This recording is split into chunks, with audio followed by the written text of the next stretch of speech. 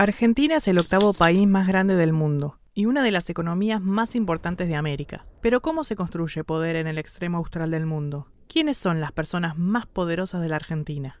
El poder puede ser definido de muchas formas, entre ellas como poder económico. En este video vamos a conocer tres casos de construcción de poder económico en la Argentina, centrados en los sectores farmacéutico, bancario e inmobiliario. Empecemos con la familia Roemers, líderes del sector farmacéutico nacional, que para 2021 acumulaban un patrimonio de 2.400 millones de dólares. Todo comienza con la fundación de la empresa Laboratorios Roemers en 1921. Su fundador, Alberto Roemers, era un empresario alemán que emigró a la Argentina a principios de siglo. La farmacéutica se desarrolló durante décadas hasta que uno de los hijos del fundador, también llamado Alberto, tomó el control de la empresa en los años 70. A mediados de la década del 70, Alberto comenzó un proceso de expansión de la compañía por América Latina y el Caribe.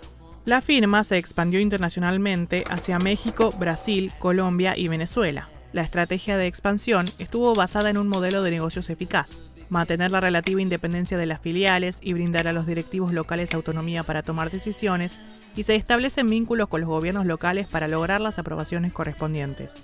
A partir de la crisis económica argentina del 2001, Laboratorios Roemers buscó profesionalizarse y modernizarse, manteniendo el formato de integración vertical, autonomía relativa y precios bajos que desarrolló en los años 70. Bajo este modelo de negocios, para su muerte en 2022, Alberto Roemer se había convertido en uno de los cinco argentinos más ricos. Una gestión oportuna de la relación con la política es un elemento de construcción de poder que también podemos encontrar en otra familia poderosa, la familia Brito, operadora del grupo Macro, central en el sector bancario argentino, que en 2017 llegó a tener 1.500 millones de dólares.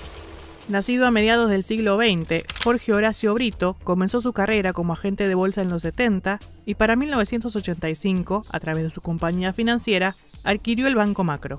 La leyenda dice que el nombre Macro significa muy agradecidos Celestino Rodrigo, debido a que Brito cosechó su primer millón gracias al Rodrigazo y las políticas económicas de la dictadura militar.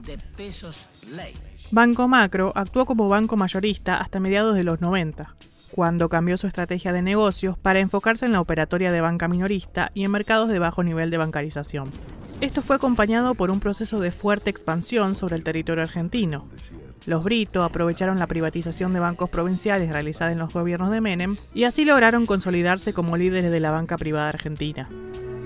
Banco Macro Bansul pionero en servicios. El grupo Macro se diversificó con los años, incursionó en la construcción, el agro y los frigoríficos. Brito se había convertido en el banquero menemista, apostando por el presidente riojano hasta las elecciones de 2003, cuando la campaña de Menem fue financiada en buena parte por la Fundación Argentina Solidaria relacionada con Brito. La relación de Brito con el kirchnerismo estuvo marcada por desencuentros, mientras que encontró mayor acogida en los primeros años del gobierno de Cambiemos, cuando se expandió al sector de energías renovables. Durante el gobierno de Alberto Fernández, Brito facilitó, junto a Sergio Massa, los encuentros realizados entre dirigentes kirchneristas con el establishment económico. Tras su muerte en un accidente de helicóptero a fines del 2020, sus seis hijos y su esposa quedaron a cargo de las posiciones mayoritarias de Brito en el Grupo Macro, uno de los grupos económicos principales del país. Pero la familia no es todo, y la construcción personal del poder ejercitada por Brito y Ruemers en el conjunto con distintos gobiernos puede llevarnos a otro personaje interesante, Eduardo Constantini, con una fortuna de 1.600 millones de dólares. Nacido en 1946, quinto de tres hermanos, Constantini estudió economía en la Universidad Católica Argentina y cursó un máster en Inglaterra durante los años 70. Se desempeñó en diversas financieras y bancos hasta fundar, durante los años 90, Consultatio Asset Management, una empresa que administra fondos comunes de inversión, y Consultatio SA, una compañía enfocada en el desarrollo de emprendimientos inmobiliarios de gran escala. Consultatio desarrolló el proyecto Nordelta, uno de los emprendimientos urbanos más importantes del continente. Nordelta cubre en su propio desarrollo todos los aspectos de una ciudad con colegios, un centro médico, clubes deportivos, supermercados, bancos, estaciones de servicio y un polo gastronómico. Nordelta hoy en día posee más de 24 barrios a su interior, constituyéndose como una localidad en el partido de Tigre y albergando a 35.000 habitantes. La construcción de Nordelta y otros emprendimientos llevaron a Constantini a desarrollar fuertes lazos con el Estado, pero además el empresario actúa dentro del mismo desarrollo urbanístico de los territorios donde invierte a través de la construcción de puentes y caminos, entre otros. Constantini también puso pie en la industria cultural y se convirtió en uno de los principales coleccionistas de arte en Sudamérica.